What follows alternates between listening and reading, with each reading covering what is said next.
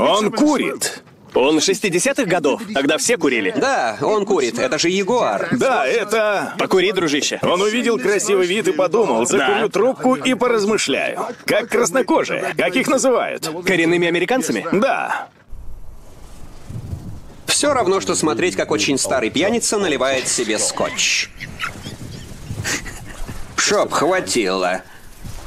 А вот и сосредоточенное лицо. Приятно наблюдать за человеком, действующим на пределе своих возможностей.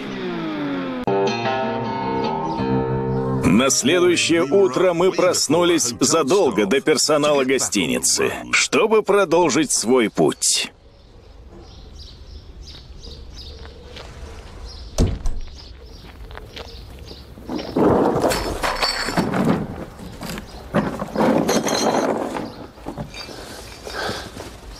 Доброе утро. Доброе утро.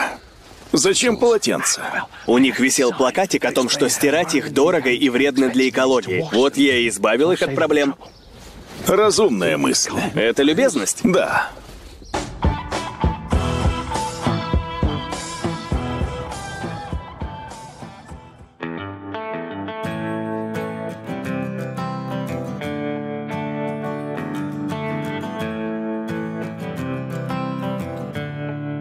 Пасхальное воскресенье. Телерайт. Легкая добыча для человека в Ягуаре. Привет, дорогуша. Найдя, где припарковаться, Хаммонд заселился в гостиницу. Мне бы заселиться. Заполните бланк. Спасибо. Можно вашу ручку? Вот. Спасибо. Заполните. Лорд Уильям Шафтсбери. Вот ваш ключ. Номер с Wi-Fi. О, большое спасибо. Спасибо.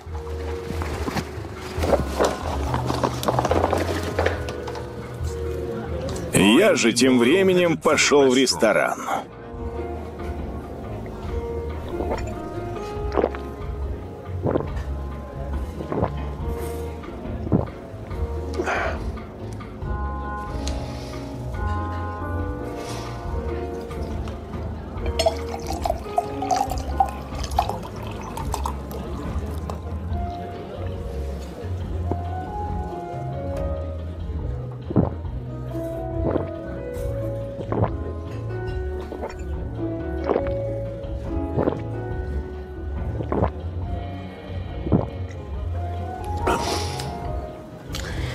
Пробкой отдает.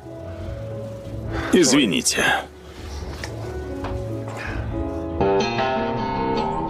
На следующее утро на улице было холодно, поэтому для поездки в горы нам понадобились теплые вещи. В связи с чем Джеймс занялся шопингом в ягуаровском стиле. А я нет. Добро пожаловать в гостиницу, сэр. Можно вашу куртку? Большое спасибо.